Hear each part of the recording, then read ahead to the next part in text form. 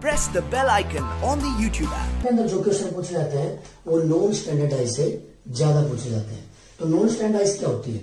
वही बच्चों कि भी एक तो हम ये नहीं कह सकते कि भी उसके अपोजिट्स का सम सात होगा। कोई ज़रूरी नहीं है चीज़। ठीक है?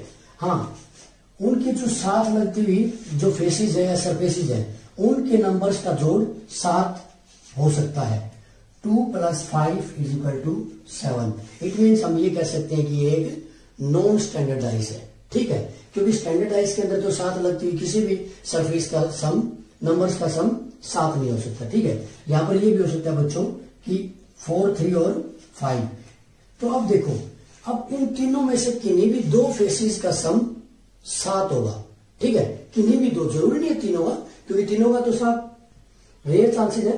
बट हमें ये पता है कि किन्हीं भी दो फेस है, उनमें से सॉरी किन्हीं भी तीन फेसों में से जो दो फेस होंगे, उनके नंबर्स का सम सात होगा। अब यहाँ पर four plus three is equal to same it means हम ये कह सकते हैं कि हमारी जो ये डाइस है, ये एक नॉन स्टैंडर्ड डाइस है।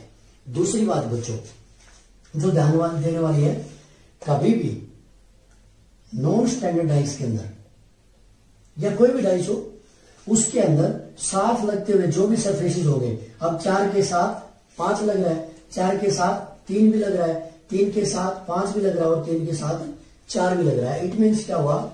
कि क्वेश्चन कई बार क्या पूछता है? कि बताओ कि ऐसे कौन से नंबर हैं जो चार के अपोजिट नहीं हो सकते?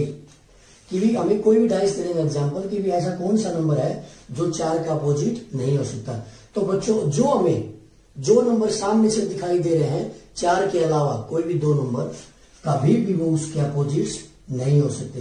तो इस फिगर के अंदर ऐसे कौन से नंबर है? पाँच और